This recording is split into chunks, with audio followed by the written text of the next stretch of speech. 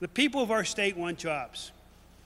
That's what I was campaigning on last year. That's what I've been talking about since the day I entered office on January the 18th of this year. Good paying jobs. We need those jobs now.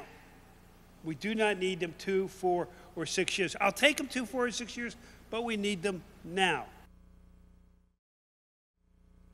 In Pennsylvania, we are investing in creating jobs on a new frontier. We are investing in the development of natural gas flowing from what is now known, and you all know it now, as the Marcellus Shale. We're not, and we have the Utica Shale underneath that.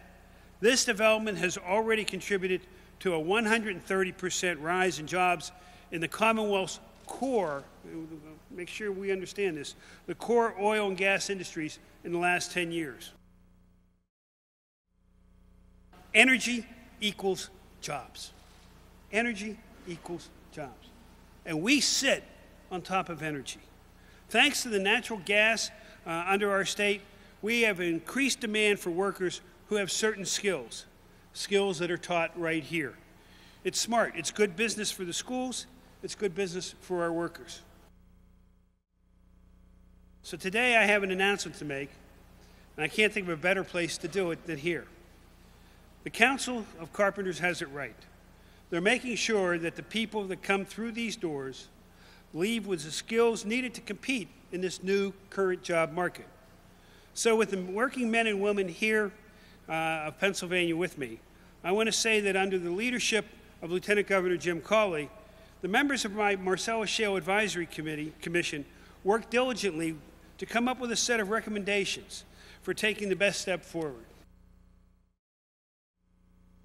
Energy equals jobs.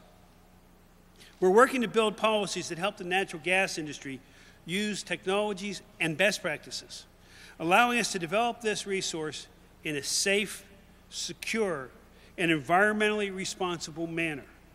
We must be stewards of the environment first and foremost, and we will be. But we can still move quickly, and we need to.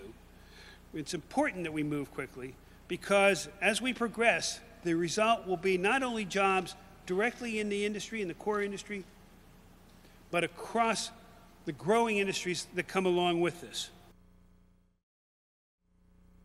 This proposal calls for a fee to be adopted by the counties. By the counties. That places the field, places the deal where the actual impact of the drilling is.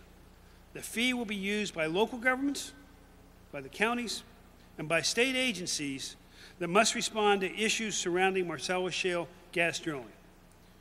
We're proposing a fee per well of up to $40,000 in the first year, $30,000 in the second year, $20,000 in the third year, and no more than $10,000 in years 4 through 10. That's a total of $160,000 per well.